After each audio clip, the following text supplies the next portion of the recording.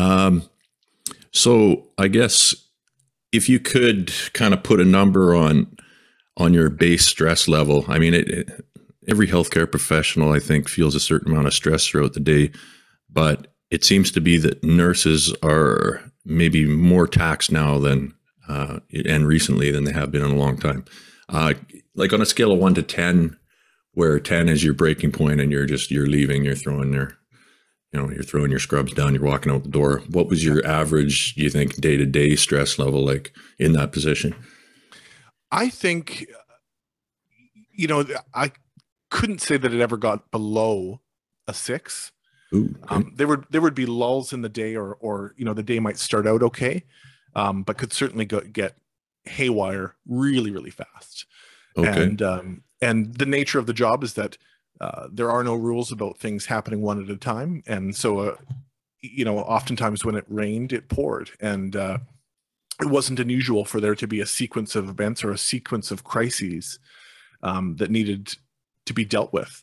And on days where there was were staffing shortages and um, resource challenges, that meant it kind of fell back on on those of us who were there. Um, so the stress level could easily get up to a nine or a ten and be sustained like that for um, you know three or four hours at a time, and maybe you'd have a little lull or you could catch your breath for a couple of minutes, but but the baseline was a pretty high stress level. Okay. Yeah, that uh, that sounds about uh, on par with what I've been hearing. Um, so let's talk about the uh, the uh, substance abuse issue. Um, could you give us kind of a was there any particular scenario or was it a certain day uh, where things had uh, you know was stress a factor that drove you towards what happened with the substance and I'll leave it up to you uh, to describe what the substance was and what uh, and how it uh, kind of developed into a pattern for you. Yeah. So the, the substance of abuse for me was was hydromorphone and and opiates in general, but hydromorphone specifically. And um, in terms of how it sort of uh, developed or, or or culminated up to the point, I um, certainly hadn't named the factors that led to it at the time. So everything I am reflecting on is, of course, hindsight. And um, I wouldn't have called it anxiety at the time. I wouldn't have called it um, the result of trauma. Uh, and I wouldn't have called it the result of sort of my uh, the uh, depletion of my mental reserves in my mental health. But at this point now, I can I can certainly reflect on those being being huge factors in turning towards opiates. Um, I had started to develop a, um, a feeling of anxiety at work um, and uh, wasn't unusual on my shifts to be, you know, again, in hindsight, have a feeling of, of stress in my chest, pressure in my chest, feel flushed, feel like my heart was racing. And and I can't recall the first specific times that I took opiates at work, but I certainly re- remember knowing what a um, how much it eased my um, my my feeling, my feeling of stress and anxiety. Right. And I think I do recall that um, being aware at the time that the hook was almost instantaneous. Okay. um, and a question, I and I asked this because um, I I had a um, my substance of choice was opiates as well, uh, OxyContin and oxycodone to be specific, and the way the link I think for me was formed between that substance and um, the solace or the kind of sanctuary from stress that it provided yeah. I think that was formed long before I really put two and two together on a conscious level.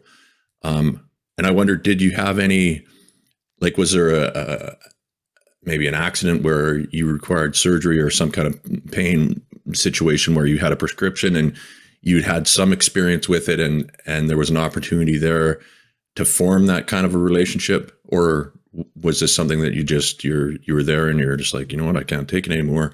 Uh, let's see if this helps. That type of thing. I, you know, I was aware of of opiates from my in my personal life. Um, as a teenager, I'd had a couple of uh, of dental dental surgeries, dental procedures that required me to have opiates, Mhm. and I certainly remember the feeling.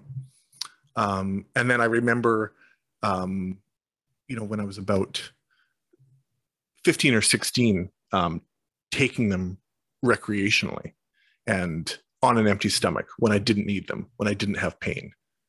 And of course, that was when I, that was when it was most pronounced to me that it, it created a euphoria, created a feeling of comfort and solace. And, um, and then it was years, obviously many years later that I went back to that. But um, yeah, that was my first experience was probably, you know, almost 20 years before I ever came back to opiates. Okay.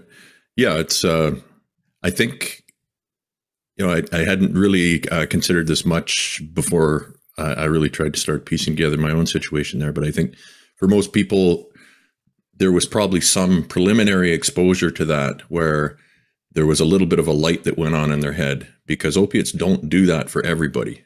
No. Um, and especially, you know, the, the, I think there's people out there who maybe only have that reaction with certain opiates. Like, um, for example, maybe only hydromorph gave them that euphoria, whereas codeine didn't, or, you know, just as, as an example.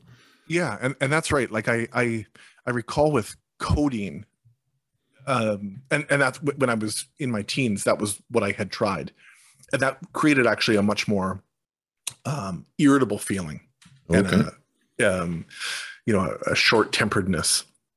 But I I recall with you know the number of times I I would give it to patients, give hydromorphone or opiates to patients, and seeing that effect on them, and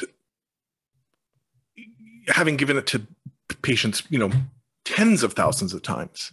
You know, at times as a, as an ER nurse, you're giving you're you're you're giving dosing opiates, you know, 20, 30 times a day to different patients.